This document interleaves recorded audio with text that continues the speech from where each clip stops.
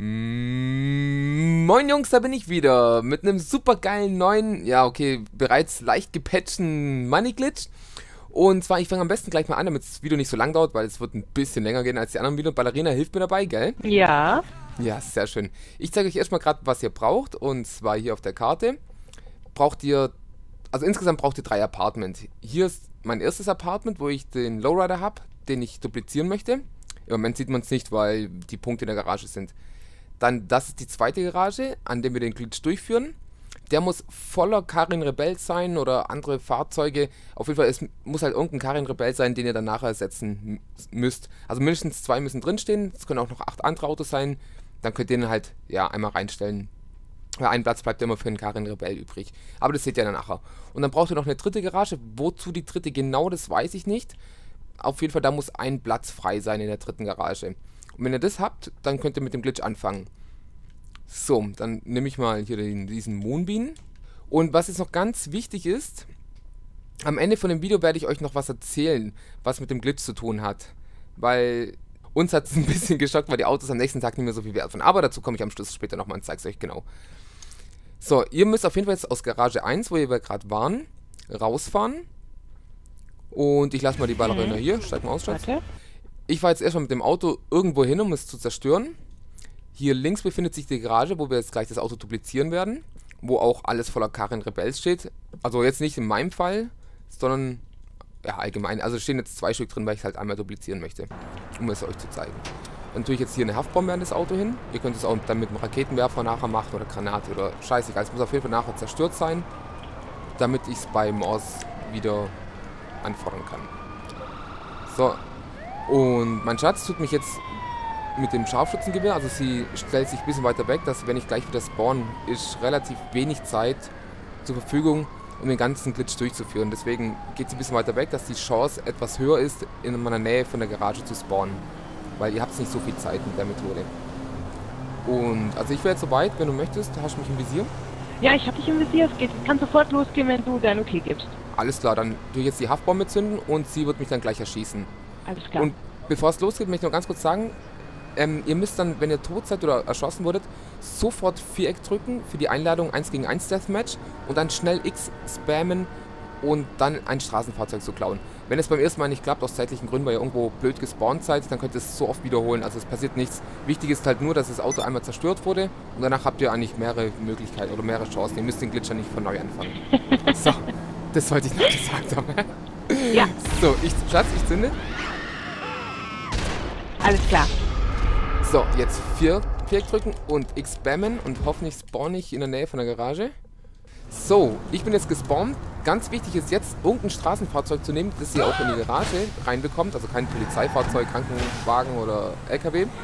Schatz, bist du bereit? Ich bin gleich da. Ja. Dann nimmt der andere Spieler die Einladung ein für das Deathmatch. Und jetzt, wenn das schwarze Bild kommt, schon kommt X, X, X, X, X, X, X, X, X, X, X, X. Und schon seid ihr im Deathmatch drin.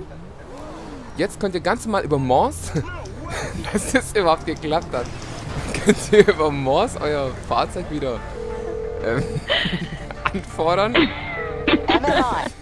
Und ihr müsst jetzt auf jeden Fall hier in der Garage bleiben und euer Kumpel oder Mitspieler, in dem Fall Ballerina, muss das Fahrzeug holen. Es ist ganz wichtig, dass ihr euch jetzt nicht zu weit von der Garage wegbewegt, weil Schatz steigt doch auf sein Motorrad auf.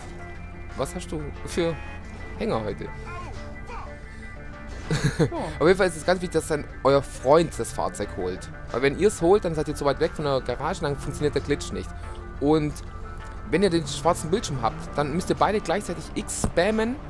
Und wenn ihr dann so da standet, wie wir gerade im Deathmatch, und das Fahrzeug, wo ihr genommen habt von der Straße, ist verschwunden, dann hat der Glitch geklappt bis dahin.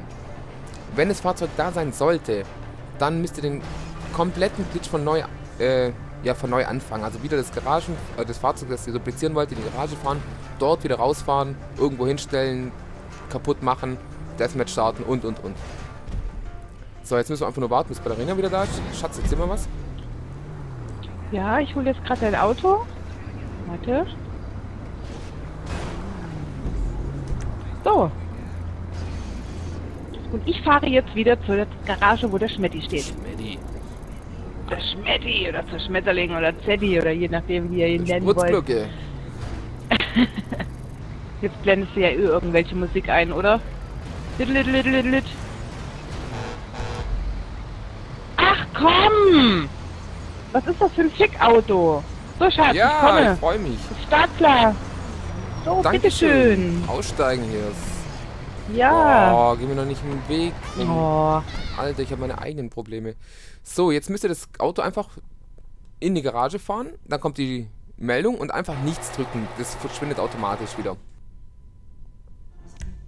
Dann wählt ihr das Fahrzeug aus, das ihr ersetzen möchtet. Und in dem Fall der Karin Rostiger Rebell. So, wenn ihr das gemacht habt, geht ihr ganz normal wieder aus der Garage raus.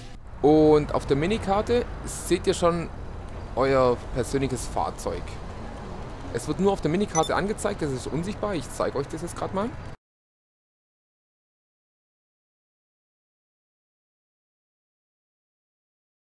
So, ich klettere jetzt gerade auf das unsichtbare Fahrzeug, mein persönliches Fahrzeug. Und da gibt es jetzt zwei Methoden. Also ich nehme jetzt die Methode vom Wild Finest Gamer. Ich habe ihn mal jetzt unten in den Link, äh, in die Beschreibung verlinkt. Da könnt ihr mal bei ihm vorbeischauen. Aber ihr könnt es auch mit dem Cargo Bob machen. In dem Moment, äh, in dem Moment wo ihr halt einen Cargo Bob habt, könnt ihr einfach mit dem Enterhaken an das unsichtbare Auto hin. Also euer Mitspieler muss euch halt lotsen. Und sobald der am Haken dran ist, wird das Auto auf jeden Fall auch sichtbar. Und dann könnt ihr das eigentlich auch machen. Ich finde es mit der Polizei, äh, Polizei einfacher, aber mit dem Cargo Bob geht's schneller. Oder was sagst du? Ja, man muss halt jetzt gleich, ähm, wenn der Zerschmetterling gestorben ist, halt zur Polizei fahren und das Auto holen. Das nimmt halt ein bisschen Zeit in Anspruch. Aber sonst finde ich das mit der Polizei eigentlich besser. Ja, kann man eigentlich wenig falsch machen. Ja. Der Cargo Bob kann nicht in die Luft fliegen und so. Also für die Leute, die nicht fliegen können, so wie ich, ist natürlich der Glitch mit der Polizei besser. Sieht im Moment schon ganz gut aus.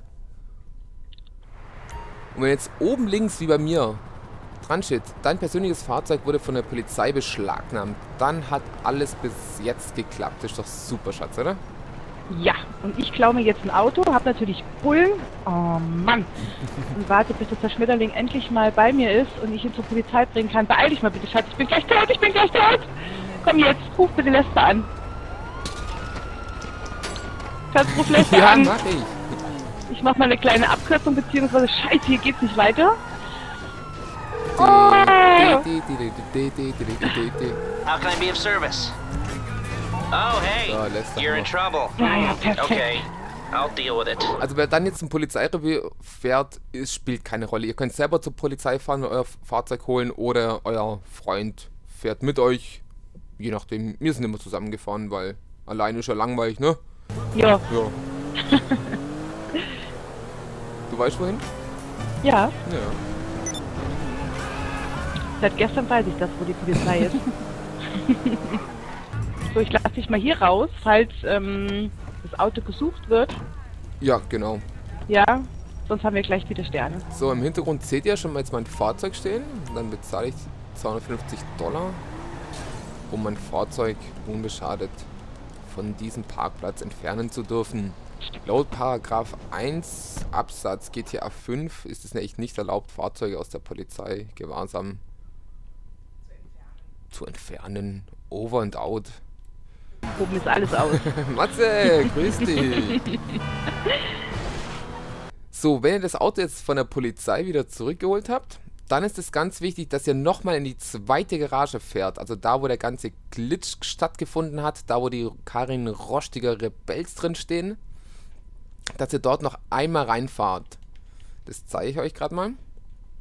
Und nicht vergessen, am Ende von dem Video kommt eine ganz wichtige Information an euch. Also die müsst ihr euch unbedingt anschauen. Wenn es euch jetzt nicht mehr interessiert, dann schaut wenigstens den Schluss von dem Video noch an. So, an der Garage angekommen, fährt ihr rein, dann kommt wieder die Meldung. Die müsst ihr jetzt mit X bestätigen. So, dann haben wir jetzt noch den letzten Stellplatz frei. Deswegen auch zwei Kartenrebells. Einmal für, den, für das Original und einmal jetzt zum Ersetzen. So, jetzt habe ich ihn genau dreimal drin. Das ist die Kopie von gestern. Da muss ich noch was dazu sagen. Das ist die Kopie von gerade eben. Und das ist das Original. Und zu allen drei werde ich jetzt gleich nochmal was sagen. Jetzt ist es nur noch wichtig, das Original, mit dem ihr das gemacht habt, wieder in die ursprüngliche Garage, also in die Garage 1 zu fahren. Und dann habt ihr es eigentlich schon... Dann, ja, dann habt ihr es dupliziert und der Glitch hat funktioniert. Jetzt kommt noch einmal die Meldung, dass die Garage voll ist, bla bla bla. Und da müsste jetzt der Karin rostiger Rebell drin sein. Den ihr natürlich jetzt wieder in die andere Garage rüber transportiert. So, da haben wir ihn schon. Und jetzt ist der Glitch eigentlich vorbei. Das war's eigentlich schon. Und so dupliziert ihr eure Fahrzeuge. Es geht normalerweise ein bisschen schneller, aber wir haben es ja noch ein bisschen kommentiert und euch erklärt. Und von dem her hat es eigentlich länger gedauert. So, und jetzt kommen wir zu der ganz wichtigen Info, wenn ihr diesen Glitch durchführt. Und zwar, ich zeige euch mal, was dieser Moonbeam, was das Original an Wert hat. Zum Glück haben wir hier hinten gleich einen Los Santos Customs, damit ich es euch zeigen kann. So, wenn ich den jetzt verkaufen möchte, kostet er um die 640.000. Super Ding eigentlich. So, und jetzt zeige ich euch gleich mal, das ist nicht die Kopie, die wir heute erstellt haben, gerade eben in dem Video. Dann zeige ich euch mal ganz kurz, was die für einen Wert hat an dem Tag, wo man ihn dupliziert. So, jetzt zeige ich euch gerade mal, was der heute duplizierte Moonbeam an Wert hat. Und das sind 442.000. Also geiles Geld. Also ich verkaufe den gleich mal, damit ich das Geld sicher habe. Jetzt rufe ich mal kurz den Mechaniker an und lass mir den Moonbeam von gestern bringen. So, und jetzt zeige ich euch mal, was dieser Moonbeam von gestern noch an Wert hat. Und das sind 210.000. Also ich weiß nicht genau warum, aber auf jeden Fall das Auto von gestern, es hat noch 400, äh, was war es, 440, was ich gerade eben gesagt habe, noch an Wert gehabt. Und das Auto von gestern hat jetzt heute, einen Tag später, nur noch 210.000. Wir dachten schon, der Glitch wäre gepatcht und dass die Fahrzeuge alle jetzt kaum noch was wert sind. Und wie ihr seht, also wenn man das am gleichen Tag dupliziert und verkauft, kriegt ihr noch über 400.000. Das sind zwar ein bisschen 200.000 Euro weniger als das Original, aber irgendwie am nächsten Tag war es bei uns, bei allen Fahrzeugen, die wir dupliziert haben, wirklich um ein Drittel weniger, äh, zwei Drittel weniger. Also ich bin jetzt überrascht, dass er noch 210 überhaupt Wert hat. Normalerweise, der andere hat 173.000 an Wert gehabt. Auf jeden Fall als kleiner Tipp, schaut auf jeden Fall, dass ihr die Fahrzeuge noch am gleichen Tag verkauft bekommt, weil am nächsten Tag sind sie weniger wert. Das wollte ich eigentlich noch sagen, das ist die wichtige Info für die Leute, die es nicht wissen und die Garage voll machen, denken, oh, ole ole, ein Haufen Geld in der Garage, am nächsten Tag gehen sie rein und ist eigentlich nur noch ein Drittel wert. Das war's eigentlich schon. Jungs, ich wünsche euch viel Spaß beim Glitchen. Ich hoffe, der wird nicht gepatcht und machst auch richtig viel Geld damit. Schatz, was an. Das verabschiede dich mal anständig von unseren Leuten. Ciao.